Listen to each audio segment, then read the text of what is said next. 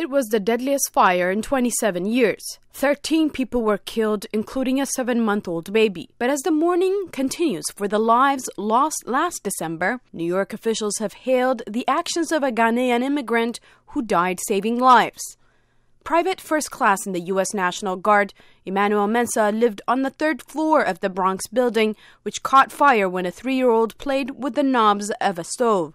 After making sure the people he lived with escaped, Mensah returned again and again to the burning building, bringing out four people.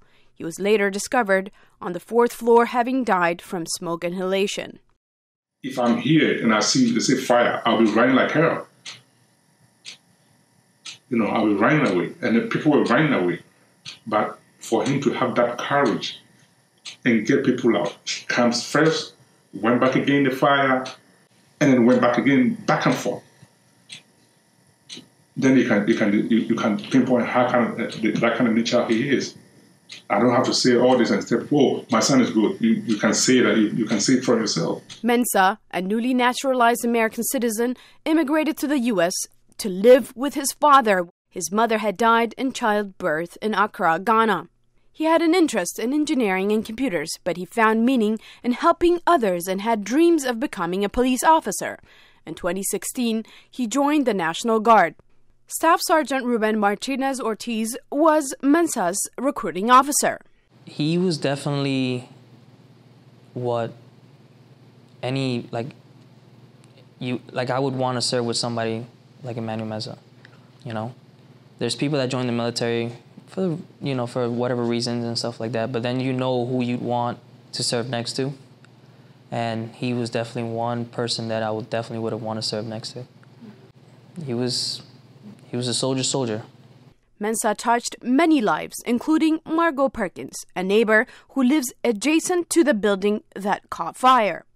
You know, when I think about him, I talk to him with, in my mind because to, I feel like he's still around. He used to call me mom. Whenever I needed something done, he always did it. He's a good angel. Mensah's father hopes his son isn't forgotten. To be known for acts of selflessness and bravery, he said, is the hallmark of a life with meaning.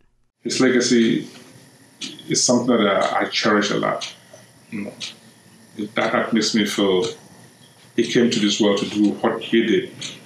And, and, and um, uh, once, and, uh, once and for all, he did what he's supposed to do. And, and he's out of this world. And sooner or later, I will be Lord them. But he has to be remembered as a hero. Mensah had planned to continue his training and join the military police. He became a U.S. citizen in September, and although his life was lost, he would live on. This year, New York will officially rename the street corner where the fire took place after him. From Woodlawn Cemetery in the Bronx, Salem Solomon, VOA News, New York.